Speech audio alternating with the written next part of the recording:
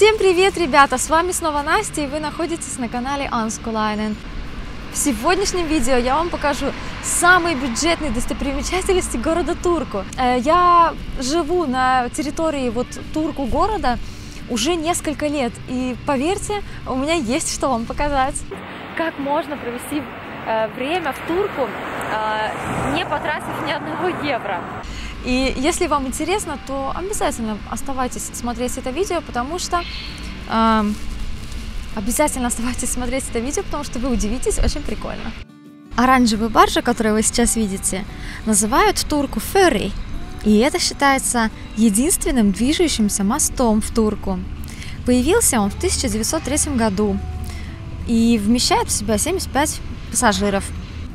Ходит он через реку абсолютно без какого-либо расписания. Путешествие через речку Аурайоки займет около полторы минуты. Слово «ферри» пришло из шведского языка «фарья» или с английского «ferry». На ферри можно брать также велосипед. В 1903 году э, ферри был пароходом, а в 1955 году в нем появился дизель-мотор, а в 2017 году он стал вообще электрическим. Ферри – это самые настоящие национальные достижения в Турку. Э, Все его обожают, все им пользуются.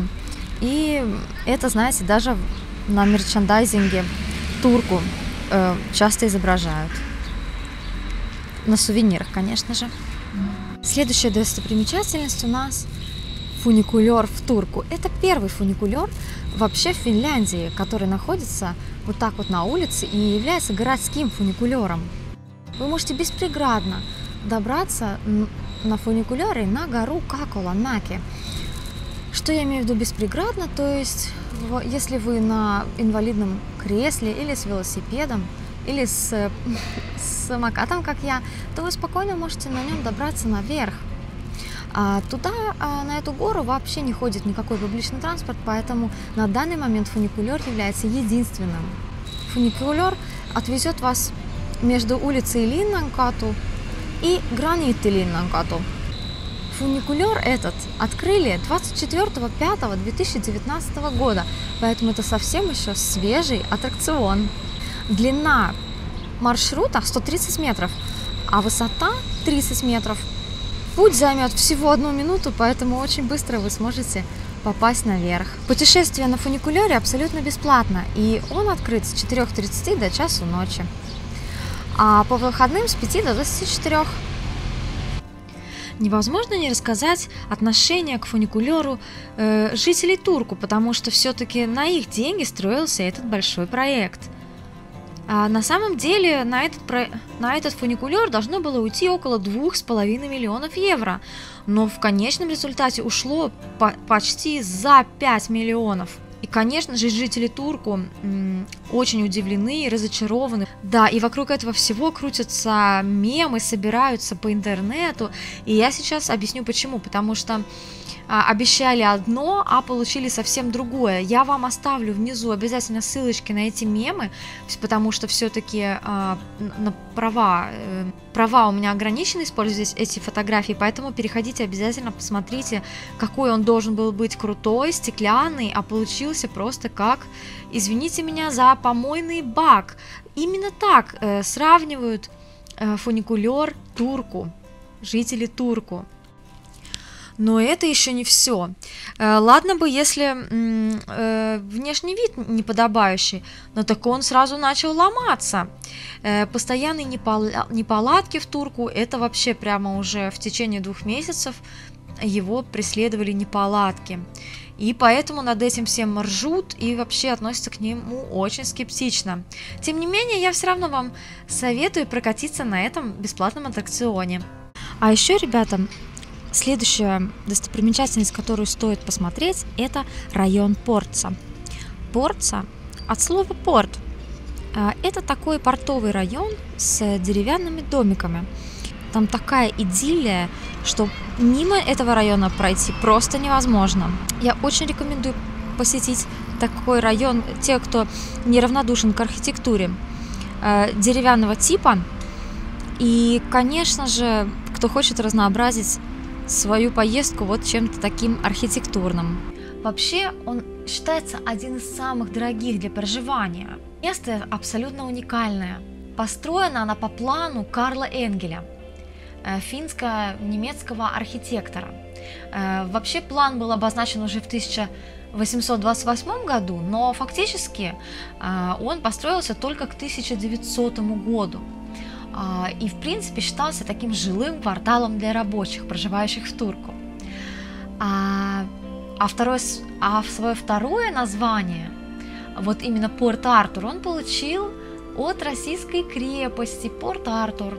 Вообще э, его судьба была такая, что его хотели снести в 1970 году, но он получил такую огромную поддержку жителей города Турку, что в 1981 году он был защищен от глобальных перестроек законодательно.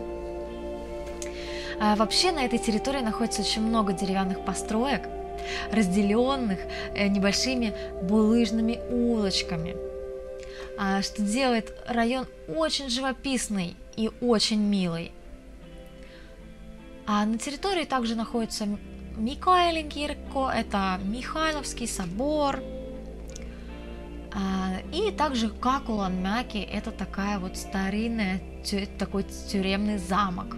Район очень уникальный и действительно советую посетить его и вот насладиться вот таким северным модерном. Я реально вот так вот прямо зарекаюсь на северный модерн в некоторых домах. Не все, конечно же. Не советую пропускать э, булочную Ковскерлейпова, потому что это реально самая лучшая булочная в Турку, поэтому реально советую зайти.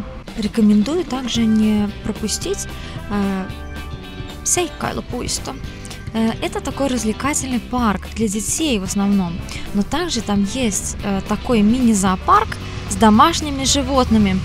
И любой может подойти, посмотреть на них, и там очень милая, хорошая атмосфера, несмотря на то, что там стоит даже забор, естественно, перед ними. Но там очень приятный островок сделан для животных, и можно и козлов увидеть, и всяких павлинов, и куриц, и это очень мило.